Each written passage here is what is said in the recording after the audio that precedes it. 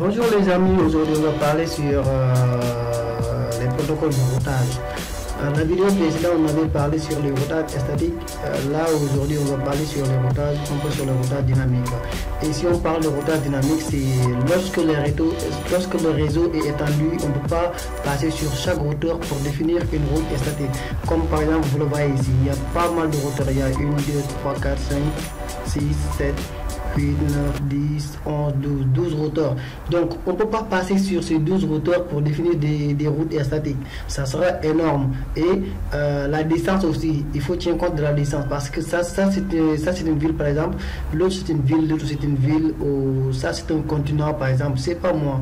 Donc, euh, on ne peut pas passer sur chaque routeur pour définir des routes statiques.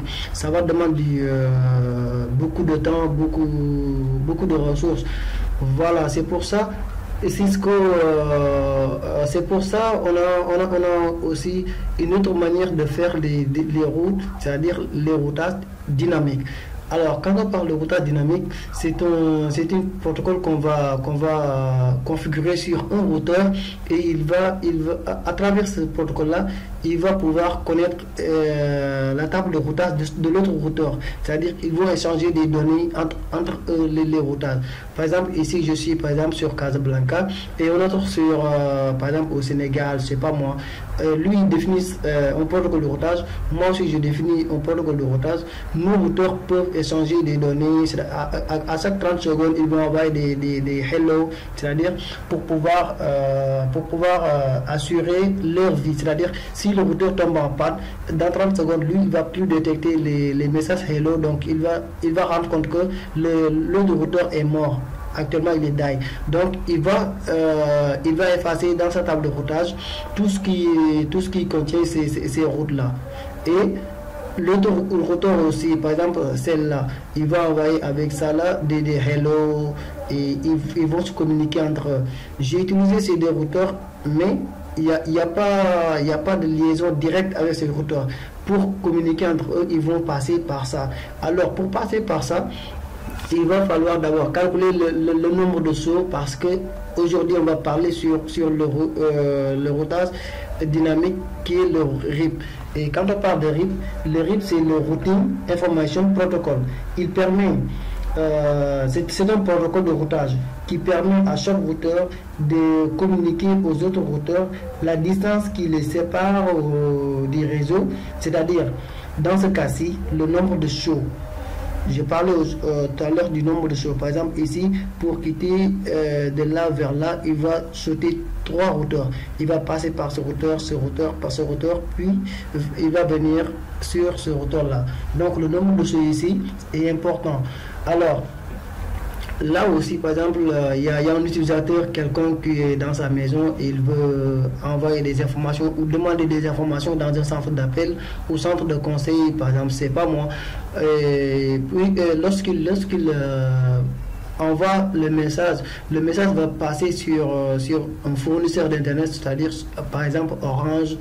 Euh, Maroc Telecom, Inui, Expresso, c'est pas moi, Tigo, c'est pas il euh, y, a pas mal de, fournisseurs d'Internet et c'est le fournisseur d'Internet qui va capter euh, euh, le message et à travers le paquet ARP, il peut, il peut déterminer la destination, c'est-à-dire l'adresse IP de destination ou l'adresse de destination et puis il va envoyer le message à son tour.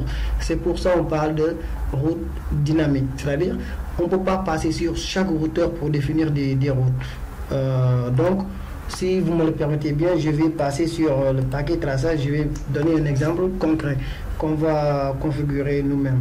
Par exemple, j'ai un routeur là, j'ai un autre routeur. Voilà, ça aussi c'est un routeur. Par exemple, j'ai trois routeurs là. Et euh, je vais choisir des, euh, des. Pourquoi pas ça? Ça, ça c'est bon. Ça c'est bon. Ça aussi c'est bon ça aussi c'est bon je vais faire comme ça. Un peu. Voilà. Je vais choisir des, machines.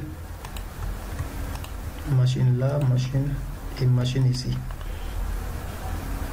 Le câblage machine machine vers, euh, vers switch, c'est euh, câble droit, toujours. Machine vers routeur, c'est câble croisé, toujours. Et machine vers euh, routeur vers routeur, c'est câble console. C'est câble céréal autant pour moi, câble céréal. Céréal.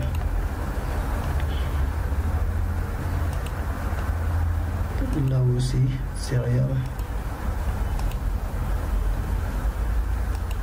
port céréal. Ça c'est routeur switch câble de croisé si vous connaissez pas les, les, câbles je vais faire un autre tuto pour parler des types de câbles qui existent. C'est très important parce que si on parle des réseaux on parle du câblage c'est très important le câblage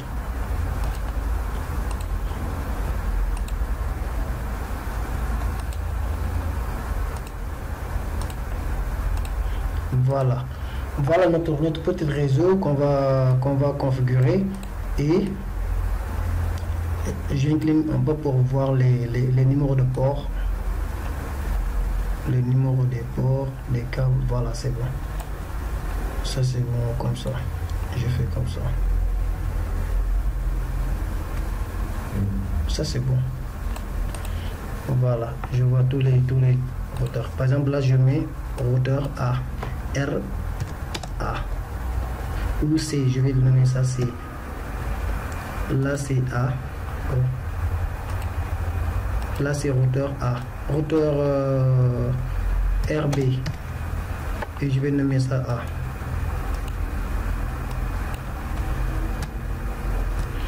R A. Routeur A. C'est bon. Alors, on va pas tarder, on va faire l'adressage pour ce, réseau-là, je vais donner ça 10.10.10.0 et puis slash 24. Euh, par défaut, slash 24. Là, c'est euh, deux machines seulement, donc je vais mettre le 10.10. Je mets 11.0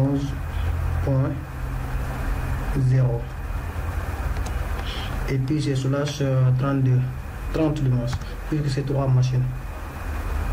Deux machines, Là aussi, euh, c'est 10.10.12.0 slash 30. Ces réseaux-là, je vais donner ça 10.10.10. Non. Euh, il y a 12 d'abord, donc c'est 13 ici. Point 0 slash 24 là aussi pareil. 10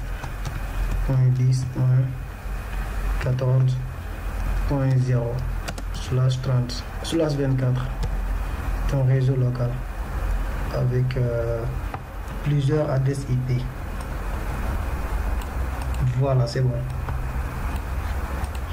Alors comme j'ai dit tout à l'heure pardon comme j'ai dit tout à l'heure on va faire les RIP puisqu'on fait les RIP vous devez savoir toutes les informations sur les RIP. Les RIP, comme je l'ai dit tout à l'heure, c'est le Routing Information Protocol. Et alors, le RIP est limité par quelques caractéristiques. Par exemple, il ne supporte que 15 shows au maximum, au-delà de quoi les paquets sont détruits, par exemple. Et euh, de plus, il ne tient compte que de la distance d'un point à un autre pour définir sa meilleure chemin ou sa meilleure route. Par exemple, ici, ce routeur-là, il connaît la distance qui lui sépare avec ce routeur ou ce routeur-là. Si c'est cette distance-là, euh, le nombre de sources est 1. Si c'est l'autre, c'est 2. Vous voyez Et euh, le RIP aussi existe en deux versions. Il y a version 1, euh, il y a RIP V1 et RIP V2, version 2. Alors, quelle est la différence entre euh, RIP version 1 et RIP version 2 Euh, pour euh, la version 2, je vais commencer bien par la version 2 parce que c'est très important par la version 2. La version 2 n'accepte pas les adresses sous les adresses réseau de type classless, c'est-à-dire dont le masque de sous-réseau ne correspond à une ne correspond pas à une classe A, une classe B ou une classe C, c'est-à-dire euh, ce, sont, ce, sont, les classes LEST qui existent chez, Cisco. Et euh, pour la version 1, il broadcast chez ces routes, tandis que la version 2 euh, multicast ces, routes. C'est-à-dire, il consomme donc moins de ressources réseau. C'est pour ça qu'on utilise euh, la version 2 actuellement. Alors, on va passer à la configuration.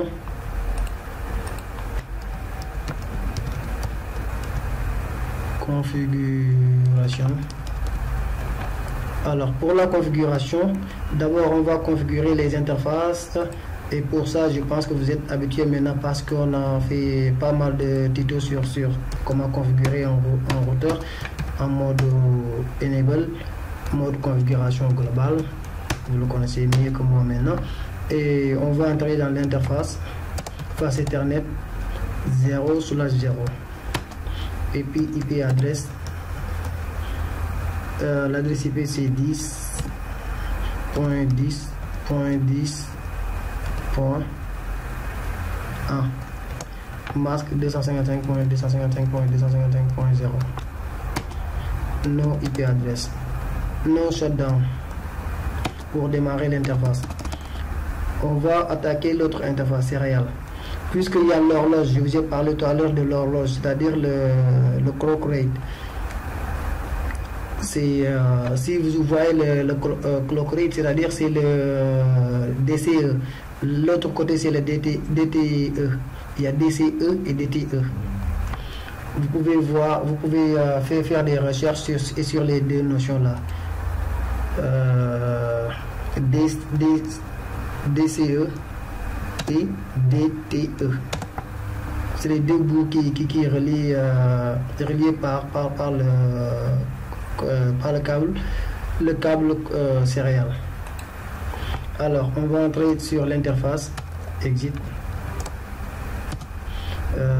interface céréal 2 slash 0 IP adresse c'est le 10.1 10.1 11.1 masque c'est 200 c'est 255.255.255.0 no shutdown. Il va pas démarrer parce qu'on n'a pas configuré l'autre face là le DTE donc on va attaquer le DTE ici.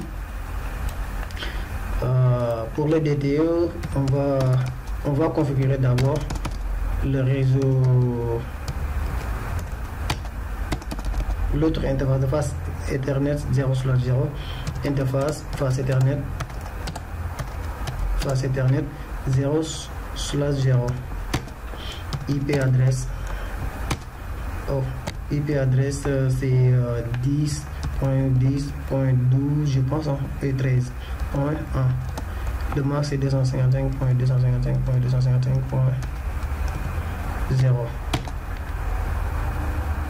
Oh, j'ai mal, mal configuré ici. Ici, j'ai mal configuré. Mais il n'y a pas de problème, je vais continuer quand même. Euh, je vais rectifier ça après. Euh, ça, c'est... Euh, voilà, c'est bon. Nos IP adresse, c'est bon. Donc, no shutdown. Démarrer l'interface. L'interface est démarrée j'ai mal configuré ici parce que j'ai donné euh, au niveau de cette, de cette, de cette euh, euh, réseau là le masque par défaut. Alors que c'était le masque c'était 250 250 oui c'était ça. Donc je vais mettre ici non IP non. Je vais entrer d'abord sur l'interface serial 2 non IP adresse. Je fais directement comme ça nos IP adresse. Et je vais lui donner maintenant l'adresse IP même adresse IP avec 252 252 là maintenant c'est bien. C'est ça. L'autre aussi je mets exit et je mets interface céréale euh, c'est quel céréale? 2 sur la 0 aussi IP adresse c'est le 10.10.11.1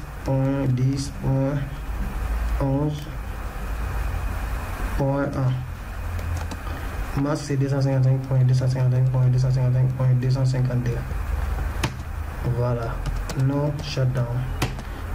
Maintenant les deux interfaces sont démarrées maintenant. Vous voyez ici. Et l'autre côté aussi. Ici il y a aussi euh, une autre céréale qui est reliée là-bas. Donc euh, il y a le colocrédit là-bas aussi n'oublie pas l'horloge. Si vous voyez l'horloge c'est le DCE on configure le, le, là-bas. Ici j'ai pas configuré le colocrédit j'ai oublié aussi. Et je mets là-bas. Ici euh, rate je mets 64 000 par exemple. 64 000 c'est bon je continue là. Je vais configurer l'autre interface là ça là. Je mets donc interface céréales 3 sur la 0 IP adresse c'est de 10.1 10.1 12 .1 et le masque c'est euh, toujours 255.255.255.252 .255 create 88 64 000. C'est bon. Non shutdown pour démarrer l'interface, c'est bon. J'attaque l'autre là directement.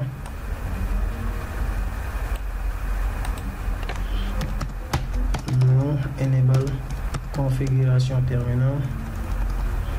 Configuration terminal, c'est bon. Interface, face Ethernet. 0 sur la 0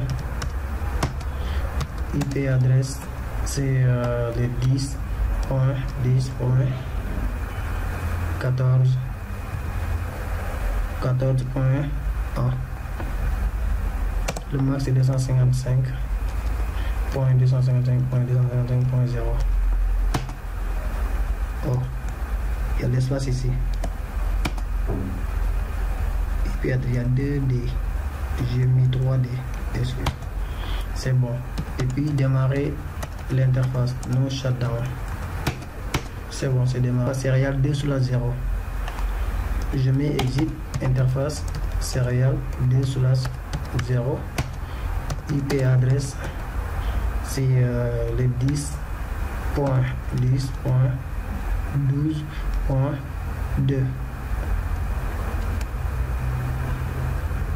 2 point 2 oui. C'est 255 point 200 point 255 point 255 point 0 point 252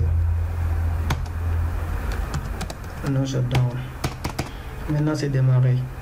Et je pense que j'ai fait encore des erreurs ici. Parce que je pense que j'ai donné le même adresse IP le même adresse IP sur les céréales ici. Euh, je vois l'interface céréale 2 c'est pas bien ici c'est le 2 donc je repasse sur l'interface 0 sur la 0 et puis je lui demande d'annuler cette, IP là, non IP adresse ça. Maintenant, je vais modifier là c'est 2 là c'est 2 et je fais comme ça. C'est bon.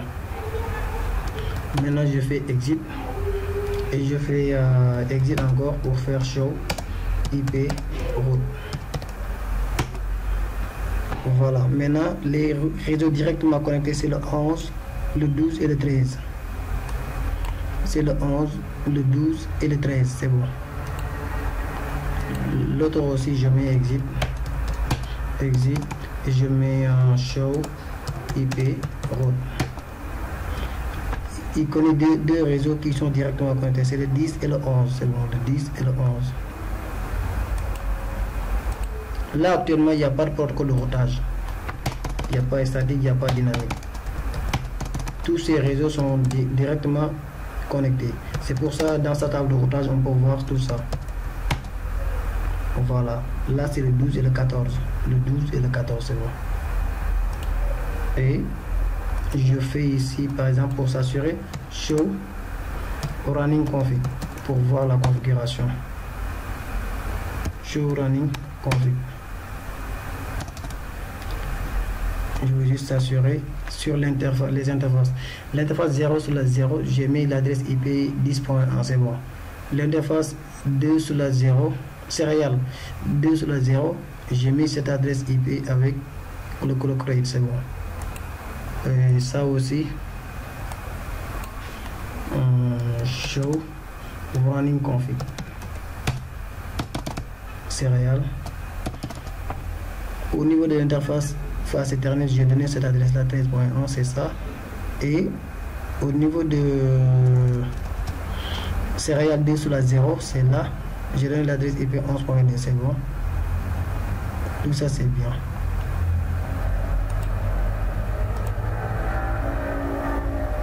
Excellent, c'est bon. Donc, on va attaquer directement au protocole de routage de RIP. Pour le RIP, on a besoin juste de trois ou je sais pas, je pense c'est trois commandes seulement.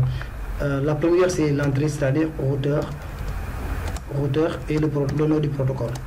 C'est assez, ça c'est ça c'est euh, identique pour tous les protocoles de routage dynamique. On va mettre routeur puis le nom du protocole qu'on va utiliser. Si c'est le EIGRP, on va mettre routeur EIGRP. Si c'est OSPF, on va mettre routeur OSPF. Mais aujourd'hui, on va parler sur le RIP. Et les autres protocoles routage, on va parler ça sur les vidéos qui vont venir. Routeur RIP en mode configuration terminal. Je mets là-bas routeur RIP. Et puis je mets network, c'est-à-dire les autres euh, adresses réseau qu'il connaît pas. Non, qu'il connaît déjà. Tous les adresses réseau qu'il connaît. Je mets ici, donc le 10 et le 11 network je mets donc 10.10.10.0 c'est tout et il connaît aussi le 11 c'est bon là aussi je dois mettre trois trois routeurs trois config trois réseaux. Configuration terminale. Au router router network. 10.10.11.0 il connaît le 11 il connaît aussi le 12 il connaît aussi le 13 bon.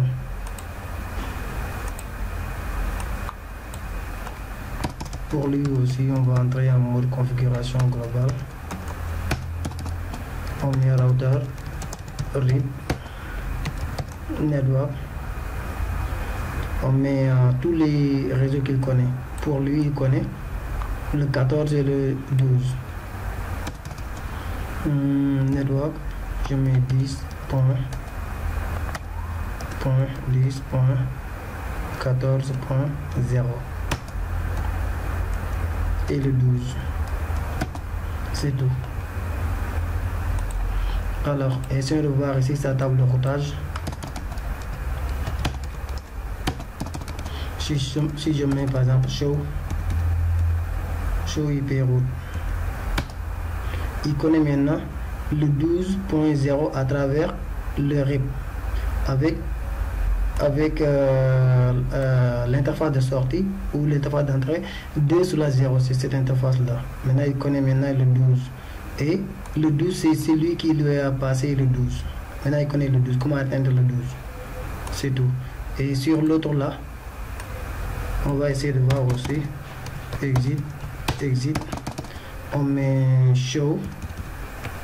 Et puis, lui aussi, il connaît l'adresse 11. C'est-à-dire cette adresse-là. Comment il peut atteindre à ces réseaux-là. Donc, normalement, si, si, si, si, je donne au PC leur, leur adresse, leur adresse c'est euh, c'est ça ouvrir le PC et statiquement je mets comme comme ça, par exemple 12. Et l'adresse du, du, du routeur, c'est le 1. C'est le gateway. Et pour l'autre, c'est le 13.12 par exemple. 13.12 et l'adresse du gateway c'est le 13.1 et ça aussi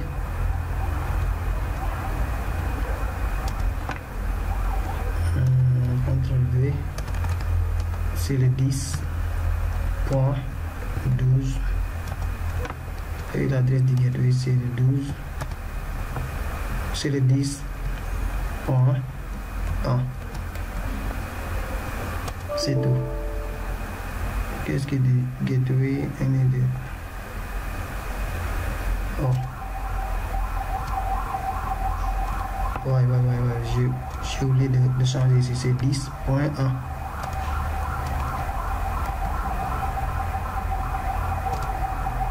voilà c'est bon je vais essayer de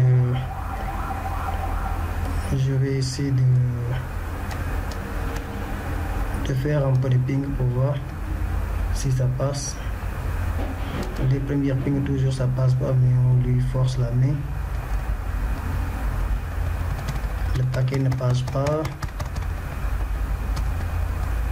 Attends je vais voir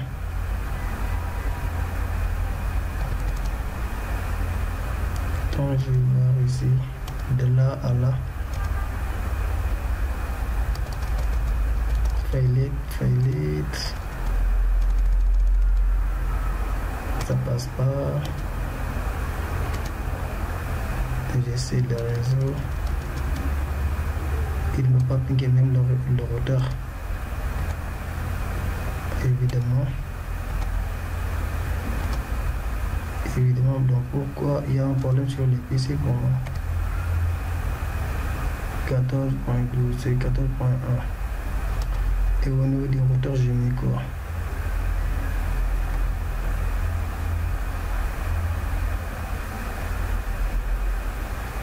J'ai mis là-bas. Et il y a le 12 il y a le 14.1 aussi. Pourquoi ça passe pas?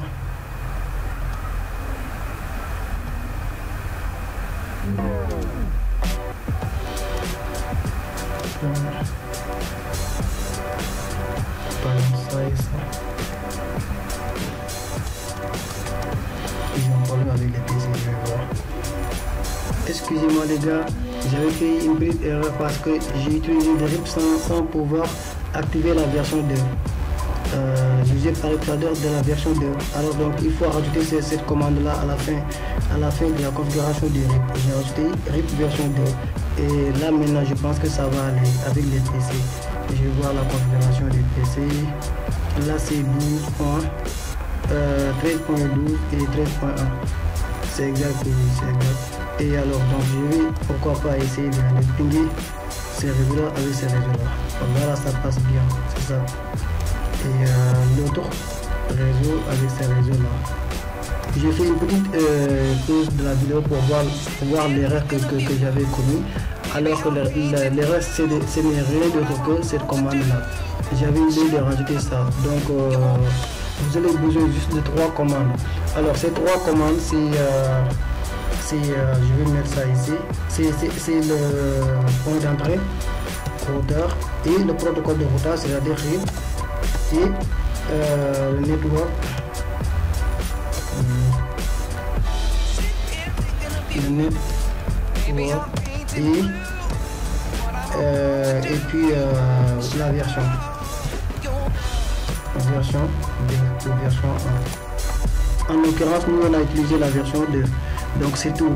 C'est tous les trois commandes que vous aurez besoin pour configurer le RIP en mode configuration terminale bien sûr.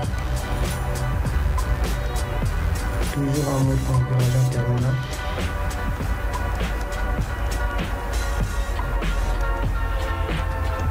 donc c'est ça la configuration de base de RIP et je vous donne rendez-vous pour un autre tuto où on va parler sur euh, le Azure Peace